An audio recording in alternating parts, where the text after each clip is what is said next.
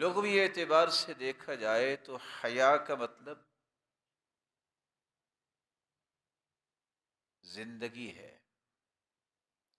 हया का मतलब तरोताजगी और शादाबी है।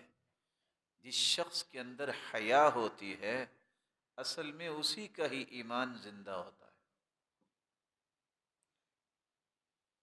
और जिस शख्स के अंदर हया होती है उसका ईमान तरोताज़ा रहता है और उसके चेहरे पे बशाशत नज़र आती है। अरबी ज़ुबान में लफ्ज़ बोला जाता है तरीक़ो जब रास्ता बिल्कुल रोशन वाज और नुमाया हो तो वहाँ ये लफ्ज़ इस्तेमाल करते हैं अरबी ज़ुबान में है तरीक़ अब रास्ता जो है बिल्कुल रोशन और कुशादा है, नुमाया है। जो शख्स हया के साथ ज़िंदगी गुजारता है, अल्लाह जलाल के यहाँ उसका मुकाम भी रोशन होता है और नुमाया होता है। इसलिए ओलमा ये कहते हैं, इब्न मुफलिह बयान किया करते थे, खुलकुन यबअसु हसन व तर्किल कबी हया एक ऐसी खूबी का नाम है, जो इंसान को अच्छे काम करने और बुरे काम छोड़ने पर उभारती है। अल्लाह ताला ये खूबी हर एक के अंदर पैदा फरमाए। इमाम रागिब असफ़हानी रहमतुल्लाह अलैहि फरमाया करते थे अलहया इनकबाद नफ्स मिन अलकबीह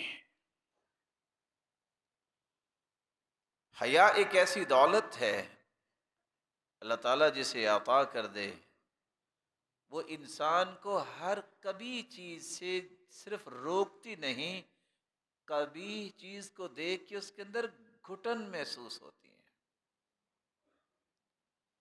ये घुटन और तंगी सिर्फ़ महसूस नहीं करता, बल्कि उस बुराई और कभी चीज़ से दूर हो जाता है। इमाम इबन हजर असकलानी रहमत जो सही बुखारी की शरह लिखने वाले हैं, वो हया की तारीफ़ करते हुए फरमाते हैं वखलुकन यहमिन इतियान हमीद व तर्किल कबी हया एक ऐसी सलाहियत का नाम है, जिसके अंदर पैदा हो जाए। ये हमेशा इस बात को सोचता है कि मैंने काम वो करना है जिसकी तारीफ़ फरिश्ते करें। मैंने हर उस काम से बचना है जिसको शरीयत ने नजायज और कभी और बुरा कह दिया है। अल्लाह ताला ऐसी सलाहियत हम सब के अंदर पैदा फरमा